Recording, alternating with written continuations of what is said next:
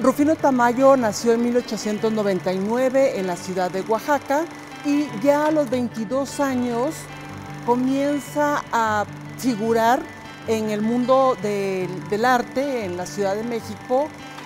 Él consideraba que el, arte tenía que ser un arte sin ideología, el arte por el arte.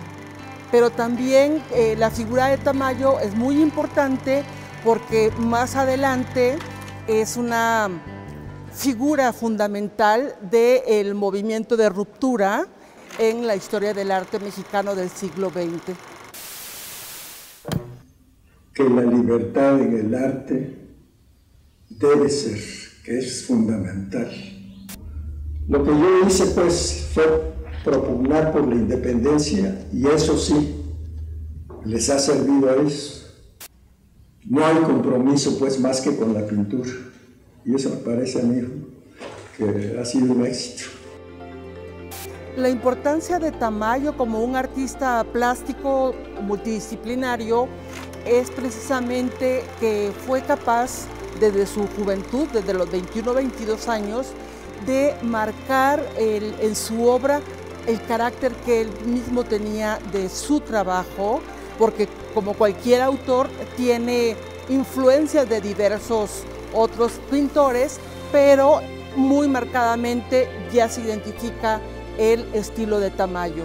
Entonces Tamayo sin duda tiene un lugar primordial en la historia del arte mexicano del siglo XX, pero también a nivel internacional sin duda es un artista totalmente reconocido y que estuvo siempre en las grandes ligas. Dualidad es un mural que crea Tamayo por una invitación de antropología. Es un mural que creó en tres meses y está en el vestíbulo Torres Bodet. Es un mural que retoma las fuerzas del mundo prehispánico representado en Quetzalcoatl, la serpiente emplumada, y Tezcatlipoca, que es el jaguar. Entonces, eh, Tamayo hace esta síntesis en la que también destaca el color, porque Tamayo fue un gran colorista, es una de las características de él y el mural de particular belleza que está hecho en cuatro paneles nos muestra esa dualidad ¿no? de las fuerzas del mundo prehispánico.